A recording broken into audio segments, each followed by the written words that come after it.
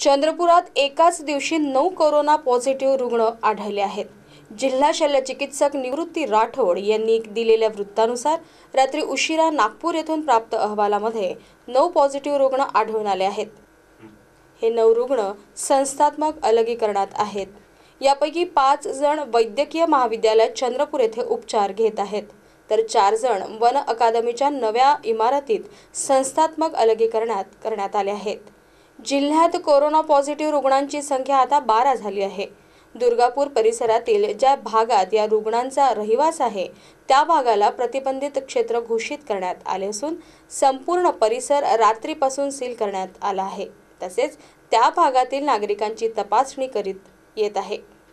Corona positive ठरलेल्या पंचावन्न वर्ष नागरिकांचा गेल्या काही दिवसात आणखी कुठे संपर्क आला याचा शोध आता प्रशासन घेणार आहे. वन अकादमीमध्ये एकोणीस मे रोजी संस्थात्मक अलगीकरण करण्यात आलेले चार नागरिक Nashik Malegaon M I D सीमध्ये काम करीत होते. भंडारा जिल्हाधिकारी कार्यालयाने हे चार नागरिक पॉझिटिव्ह रुग्णांच्या संपर्कात आल्याचा संशय व्यक्त केला होता. त्यामुळे वन अकादमीमध्ये ठेवण्यात आले होते. हे चार नागरिक मूल पोंभुर्णा विसापूर सिंधेवाई परिसरातील आहे. सर्व नागरिक बाहेरून आले असून त्यांच्यावर योग्य उपचार सुरू आहे. अशी माहिती जिल्हा शल्य चिकित्सक निवृत्ती राठोड यांनी दिली आहे. चंद्रपूर जिल्ह्यामध्ये आज रोजी एकूण बारा रुग्ण पॉझिटिव्ह आहे आणि ॲक्टिव्ह आहे काल एक दुर्गापूर येथील एक रुग्ण पॉझिटिव्ह आढळल्यानंतर पुन्हा नऊ रुग्णांचे अहवाल प्राप्त झाले आणि ते पॉझिटिव्ह आढळले.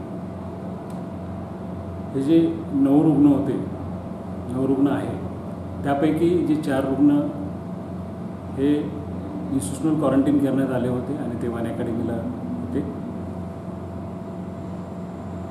ते चौदा तारखेला चंद्रपूरमध्ये दाखल झाले. आणि त्यांना संस्थात्मक विलगीकरणमध्ये ठेवण्यात आले. एकूण ते सहा जण आहेत ते नाशिकवरून परतलेले आहेत. त्यापैकी एक भंडारातला आहे आणि एक गडचिरोलीतला आहे. ते दोन्ही पॉझिटिव्ह असल्यामुळे त्यांचे हे कॉन्टॅक्ट ट्रेसिंगमध्ये हॅरिस कॉन्टॅक्ट असल्यामुळे अशी पत्राद्वारे माहिती मिळाली आणि त्यांना ताबडतोब इन्स्टिट्यूशनल क्वारंटीन करण्यात आले आणि त्यांचं एकोणावीस तारखेला सॉब घेण्यात आलं आणि त्यांचं सॉब घेतल्यानंतर ते पॉझिटिव्ह आढळले. इतर जे पाच रुग्णांचा अहवाल जे पॉझिटिव्ह आलेला आहे ते सुद्धा पुण्यावरून तीन जण आलेले आहेत. ठाणेवरून एक आहे मुंबईवरून एक आहे. अशा विविध रेड झोन जिल्ह्यामधनं चंद्रपूर जिल्ह्यामध्ये आलेले आहेत. वरोरा येथील जे दोन रुग्ण मिळालेले आहेत ते या ठिकाणी वरोरा येथे आले होते परंतु ते रहिवासी जे वरोरा येथले नाही ते पिंपरी चिंचवड येथील रहिवासी आहे त्यांचे इथं नातेवाईक असल्यामुळे वरोरा येथे नातेवाईक असल्यामुळे त्यांना भेट देण्यास ते या ठिकाणी आले होते. तर त्यांना ताबडतोब त्याच ठिकाणी संस्थात्मक क्वारंटाईन करण्यात आले. आणि त्यांचं तपासणी केली असता ते पॉझिटिव्ह आढळले इतर जे रुग्ण आहे जे पुण्यावरून आलेले आले होते त्यांनासुद्धा इन्स्टिट्यूशनल क्वारंटीन करण्यात आले. आणि विविध ठिकाणी त्यांना इन्स्टिट्यूशनल क्वारंटीन करण्यात आले. आणि त्यांना काही कोणाचा कोणाला एक माइल्ड फिवर होता माइल्ड कफ होता. त्यामुळे त्यांना या ठिकाणी भरती करण्यात आले.